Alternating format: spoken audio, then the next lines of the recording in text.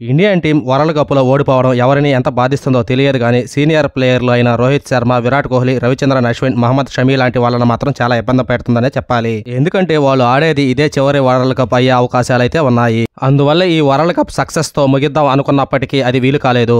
ఎందుకంటే ఇప్పటికే వాళ్ళకు ఏజ్ అనేది భారీగా పెరిగిపోవడంతో నాలుగు సంవత్సరాల వరకు ఇండియన్ టీంలో ఉంటారా లేదా అనేది చర్చనీయాంశంగా మారింది. ఎందుకంటే ప్రస్తుతం ఫిట్ గానే ఉన్నారు. కానీ కొన్ని రోజులు గడిచే కొద్దీ వాళ్ళలో కాన్ఫిడెన్స్ లెవెల్ తగ్గిపోయి ఫామ్ని కూడా కోల్పోయే అవకాశాలు అయితే ఉన్నాయి. ఇక ఒక్కొక్క సీనియర్ ప్లేయర్ ఏజ్ ఎంత ఉందనేది మనం ఒకసారి తెలుసుకుందాం. కెప్టెన్ రోహిత్ శర్మ ప్రస్తుతం ఆయన అంత ఫిట్గా ఉన్నట్టు కనిపించడం లేదు. ముప్పై ఆరేళ్ళ రోహిత్ ఇప్పటికే ఫిట్నెస్ సమస్యలతో ఇబ్బంది పడుతున్నాడు.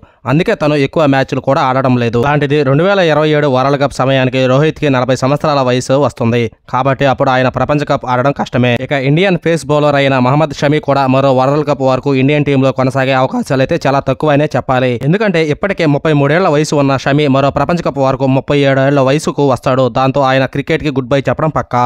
ఇక ఇండియన్ స్పిన్ దిగ్గజమైన రవిచంద్రన్ అశ్విన్ కూడా చాలా సంవత్సరాల నుంచి ఇండియన్ టీంకి ఎనలేని సేవలు అందిస్తూ వస్తున్నాడు.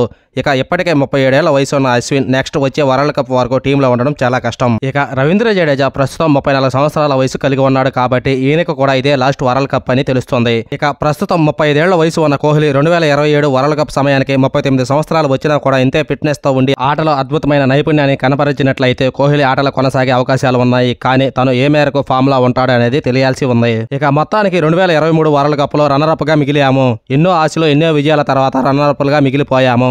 ఇక ఆటలో గెలుపు ఓటములు సహజం. ఇక వరల్డ్ కప్ గురించి అందరూ మర్చిపోయి నెక్స్ట్ ఏం చేస్తారు? మరోసారి మనం కప్పు కొట్టగలం అనే దాని మీద దృష్టి పెడితే బాగుంటుంది.